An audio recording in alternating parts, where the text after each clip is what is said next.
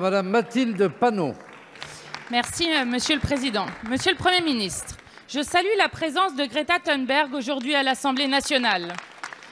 Avec elle, ce sont des centaines de milliers de jeunes que vous devez voir et entendre. Tous ceux qui vous disent d'arrêter votre marche vers le chaos. L'urgence écologique et climatique est là. Toutes les, les données de dizaines de milliers de scientifiques sont sur la table. Avez-vous pris connaissance de ces données? Savez-vous que le permafrost est en train de fondre avec 70 ans d'avance?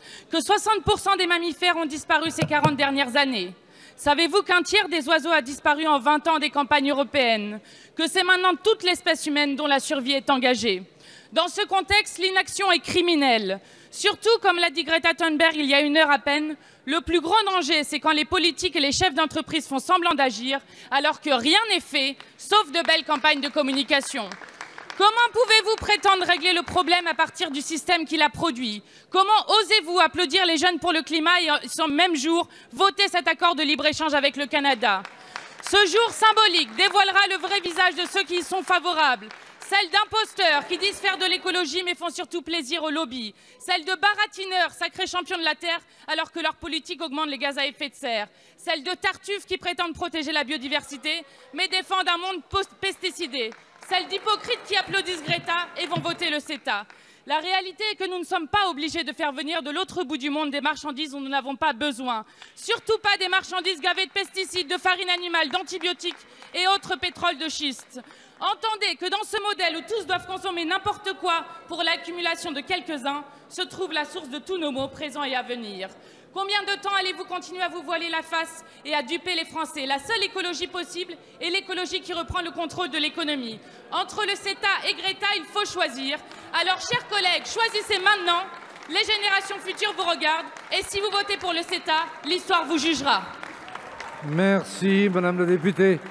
La parole est à Monsieur Jean-Baptiste Lemoyne, secrétaire d'État auprès du ministre de l'Europe et des Affaires étrangères. Merci beaucoup, Monsieur le Président. Mesdames et Messieurs les députés, Madame la députée Panot, grâce au travail conduit depuis deux ans, l'accord entre l'Union européenne et le Canada a été amélioré. Il a été complété. Et notamment, nous avons intégré un volet environnemental et climatique qui constitue une avancée considérable. Tout simplement parce que nous avons, obtenu, nous avons obtenu enfin que le veto climatique soit inscrit noir sur blanc. Et cela, le Canada y a donné son accord.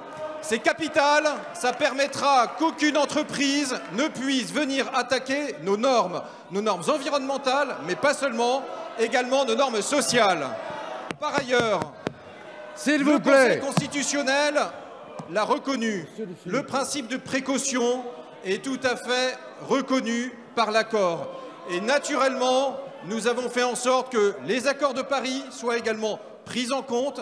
Et c'est toute la politique commerciale désormais que nous plaçons sous ce signe, celui d'une ambition environnementale et climatique. S'il vous plaît. Alors vous disiez euh, la semaine dernière, en conclusion des débats, la patrie ou la mort.